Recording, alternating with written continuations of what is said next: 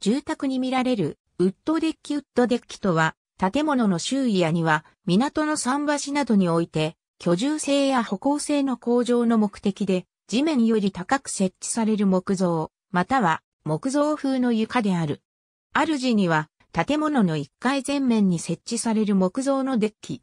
耐久性は、使用する材料の性質や、塗料の防腐などの性能、メンテナンスの程度、設置場所の気候に大きく左右される。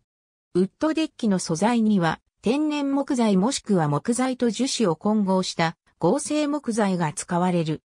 ウッドデッキとは、建物の縁側の機能を拡大するために屋外に設置される床である。近年、ウッドデッキとリビングを一体化させて、アウトドアリビングを楽しむことが流行している。ベランダの上に、スノコ状のパネルを敷き詰めるウッドパネルとは区別される。また、地面に近いところに、歩道の用途として敷き詰めたものは、ボードウォークとも呼ばれるが、広場と歩道の区別がつかない場合が多く、総称して、ウッドデッキと呼ばれる。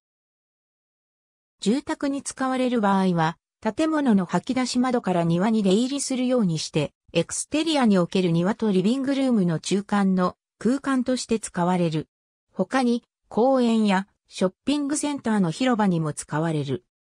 なお、日本ではほぼ同じ役割のものとして濡れんが挙げられる。ウッドデッキという言葉は英語のデッキに由来する。英語のデッキは船の甲板に由来する。そのことから、ウッドデッキの材質は木製もしくはそれに準ずる材質のもので作られたものを指す。ウッドデッキに使われる木材は、設置される環境上、高耐久の木材を使う必要がある。住宅用には加工しやすく、DIY に向いているウェスタンレッドシダーが多く使われ、屋外での過酷な環境にさらされるデッキには、熱帯雨林産の高耐久性ハードウッドである、イタウバ、イタウバフィエラ、ウリンやイペ、セランガンバツ、サイプレスなどが使われることが多い。また、自然公園などには、耐用年数15年もの耐久性を誇る、加圧中乳房不処理木材を施された国産の杉やヒノキが使われることが多い。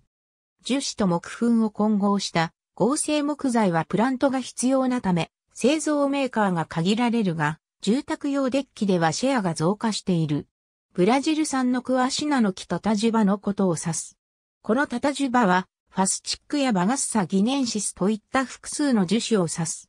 自然派のウッドデッキを作るなら、ハードウッド。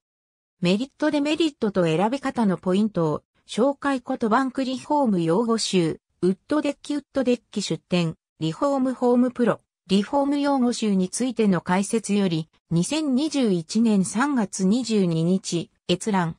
濡れんとは住まいの内と外を豊かにつなぐ魅力に迫る数箱、イタウバフィエラは、コストパフォーマンスすごいんです。2019年11月18日閲覧。熱帯植物洋蘭熱帯植物研究会、洋剣道、1996年、第4版。ISBN4 から924,395から 03X。レコード、サミュエル J、メル、クレイトン D、ティンバースオブトロピカルアメリカ、ニューヘブン、イェールユニバーシティプレス P122 シド BA7535045X https コロンスラッシュスラッシュブックス .google.co.jp スラッシュブックス HL イコール JA& ID イコール Z0 ヤマジ &DQ イコールタタジュバネームフォーカスイコールセルッチウィスニャバルム